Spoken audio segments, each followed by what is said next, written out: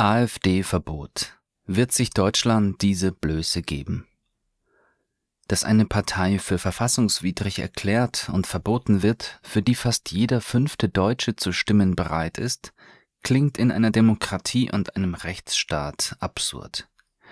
Aber hat sich Deutschland nicht inzwischen weit von Grundsätzen entfernt, die noch vor wenigen Jahren unverrückbar schienen? Eine Meinung von Alexei Dankwart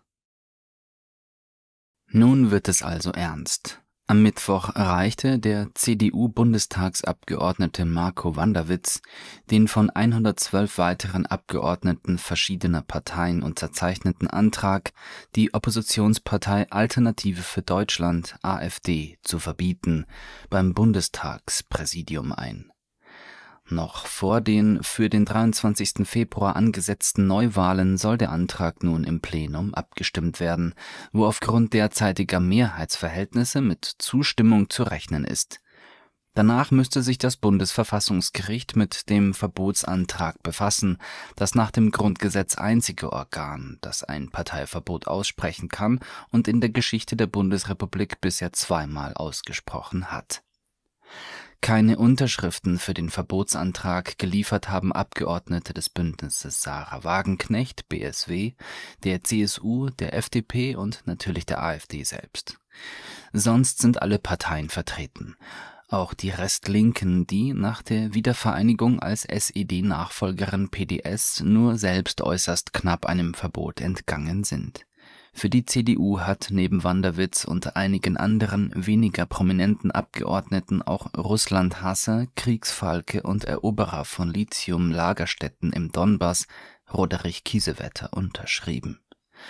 Hat das Bestreben, eine Umfragen zufolge bundesweit von gut 20 Prozent der Wähler favorisierte Partei zu verbieten, Aussicht auf Erfolg dies angesichts des vollständigen Fehlens wirklich handfester Tatsachen, die die Ultima Ratio des Verbots und der Auflösung einer politischen Partei in einer Demokratie, die Deutschland vorgibt zu sein, rechtfertigen könnten.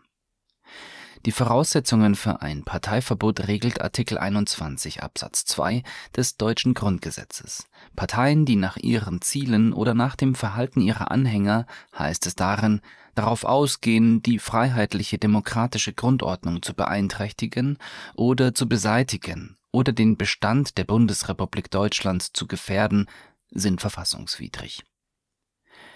Nichts in den Statuten und Programmen der AfD, in öffentlichen Äußerungen ihrer Funktionäre oder Mandatsträger, der prominenteren jedenfalls, oder gar deren Handlungen gibt etwas in diesem Sinne her. Es muss einem nicht gefallen, was die AfD als politische Programmatik vor sich herträgt.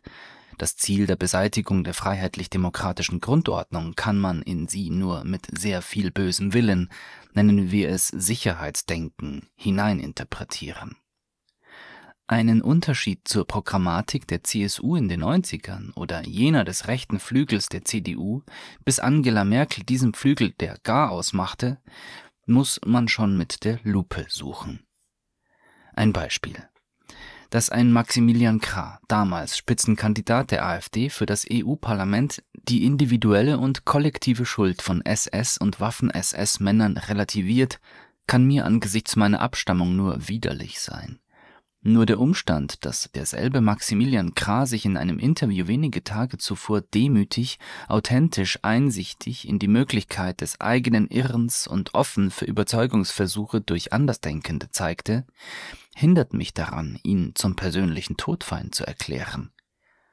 Aber haben wir in all den Jahren der Existenz der Bundesrepublik Deutschland von sogenannten Vertriebenen und deren Nachkommen in der Regel mit dem Parteibuch der CDU oder der CSU ausgestattet, nicht immer und immer wieder weitaus schlimmeren Revisionismus und Geschichtsfälschung vernommen? Und hieß es dazu nicht immer, das muss eine Demokratie aushalten? Wenn mich jemand noch vor fünf oder sechs Jahren nach den Chancen eines AfD-Verbotsantrags gefragt hätte, hätte ich ohne Zögern geantwortet, aussichtsloses Unterfangen. Zu hoch die Hürden, zu dünn die Tatsachengrundlage, zu weise die Richter, die über das Grundgesetz wachen. Zu himmelschreiend die Blöße, die man sich national wie international damit gegeben hätte. Doch heute, heute bin ich mir dann nicht mehr so sicher. Irgendetwas hat sich radikal verändert in Deutschland, und der Versuch, diese Veränderung in stimmige Worte zu fassen, ist noch lange nicht ausgereift. Die Veränderungen greifen tief in die Volkspsyche und werden das Land noch viele Jahre, mindestens eine Generation lang prägen. Ob Zufall oder nicht, es bahnte sich lange an und kippte vollends mit der sogenannten Corona-Krise, nicht nur die Masse zeigte, von irrationaler Angst getrieben, eine überaus hässliche Fratze und wie dünn die zivilisatorische Schicht des modernen Menschen doch ist. Auch Juristen von den ganz Großen bis zu ganz Kleinen fielen der Panik anheim, und es verschob sich etwas in ihren Köpfen nachhaltig wo früher das Bundesverfassungsgericht jeden noch so knapp unverhältnismäßigen Eingriff der Verwaltung oder des Gesetzgebers in Freiheitsrechte kassiert hatte, ließen die Verfassungsrichter sich freiwillig in ihre Wohnungen und alle Deutschen in die ihrigen einsperren, zogen sich Masken über und ließen nur Geimpfte in ihre Säle.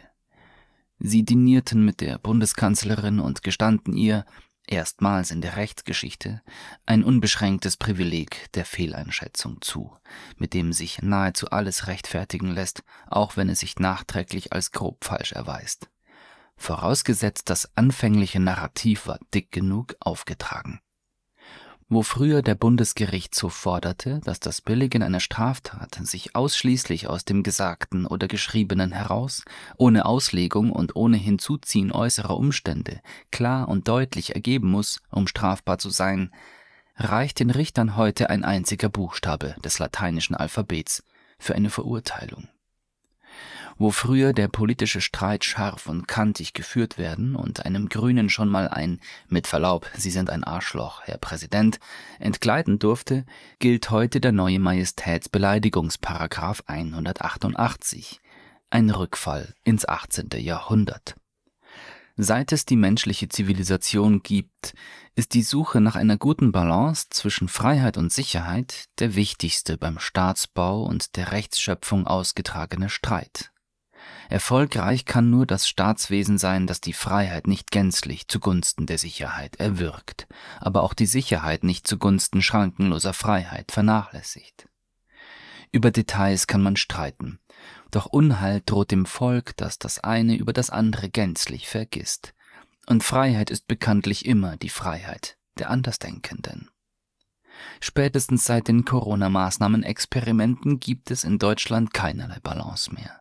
Ein irrationales Bedürfnis nach absoluter, jede Freiheit erdrückenden Sicherheit treibt Staat und Justiz an, aber auch die Mehrheit des Volkes ist davon ergriffen. Wie schon bei Corona will man heute keinerlei Risiko tragen und sich nicht den Mühen aussetzen, etwas Unangenehmes durchzustehen. Ob nun eine Infektion, oder einen mit politischen Mitteln mühsam ausgetragener Kampf? Fragen Sie Ihre Nachbarn. Noch heute hüte ich mich davor zu behaupten, dass Deutschland kein Rechtsstaat mehr ist. Dass es tiefer im Morast der Despotie steckt, als viele glauben wollen, will ich aber auch nicht verschweigen. Sonst wäre ich nicht im Exil.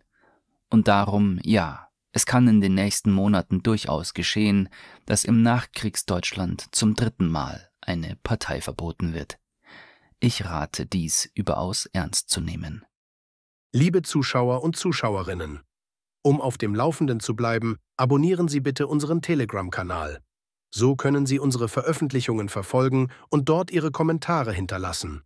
Ihre Meinung ist uns wichtig.